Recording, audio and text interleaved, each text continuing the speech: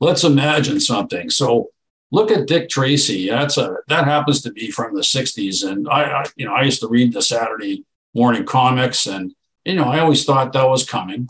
Uh, but I can tell you that uh, the television repairmen in those days would never have believed it because TVs were full of vacuum tubes and the main monitor was a giant vacuum tube.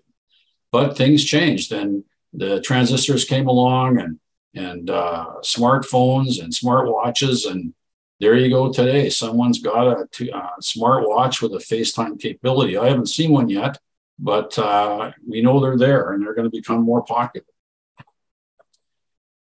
Now let's imagine something else fresh food.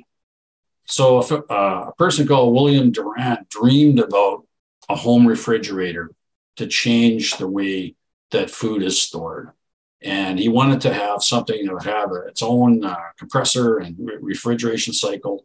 And he introduced it in, uh, I'm actually hidden here, whatever date it was.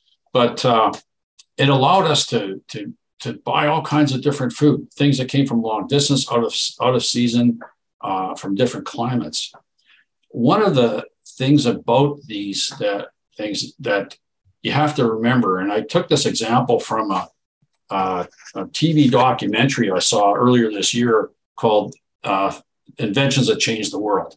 And uh, I'd really encourage everyone to look for that online and see if they can watch it because it's fantastic.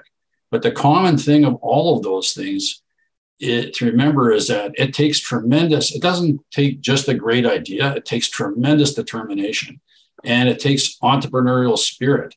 Many of these people risked everything to make their to make those devices a, a reality. So remember that innovation by itself won't isn't all it takes, and the world won't beat a path to your door because you've got a good idea.